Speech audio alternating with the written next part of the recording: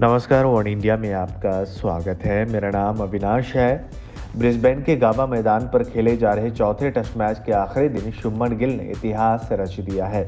चौथी इनिंग्स में शुभमन गिल ने भारत के लिए पचासा लगाया है। शानदार बल्लेबाजी का मुजाहरा पेश करते हुए भारत की तरफ़ से उन्होंने चौथी इनिंग में पचासा लगाया। साथ ही एक खास कीर्तिमान अपने नाम शुभमन गिल ने कर लिया है, जिसके चलते वह ऐसा करने वाले दूसरे सबसे युवा भारतीय बल्लेबाज बन गए।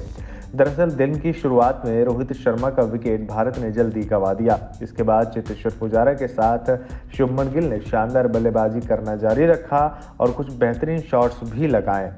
इस तरह पारी के उनतीसवें ओवर में हेजलवुड की पहली गेंद पर दो रन लेकर शुभमन गिल ने टेस्ट क्रिकेट करियर की दूसरी 50 जड़ी है, जिसके चलते ऑस्ट्रेलिया के मैदानों में चौथी पारी में 50 जड़ने वाले वो दूसरे युवा बल्लेबाज बन गए।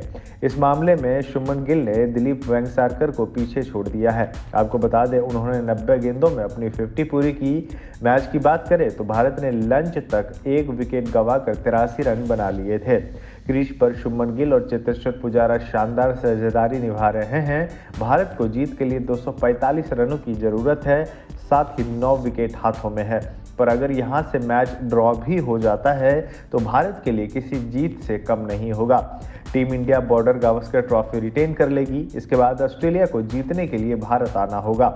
बहरहाल, मेजबान ने टॉस जीतकर इससे पहले बल्लेबाजी करने का फैसला किया था। ऑस्ट्रेलिया ने पहली पारी में तीन सौ उनहत्तर रन बनाए थे, जिसमें मानस लबुशेन का शतक शामिल था। इसके जवाब में पहली पारी में भारत ने शार्दुल ठाकुर और वाशिंगटन सुंदर के अर्धशतकों के जवाब में 336 रन बना लिए। वहीं दूसरी पारी में 33 रनों की बढ़त लेने के बाद कंगारू की टीम दो सौ चौरानवे रन ही बना सकी। इस तरह भारत को जीत के लिए 328 रनों का टारगेट मिला। इस खबर में बस इतना ही। तमाम अपडेट्स के लिए बने रहिए वन इंडिया के साथ।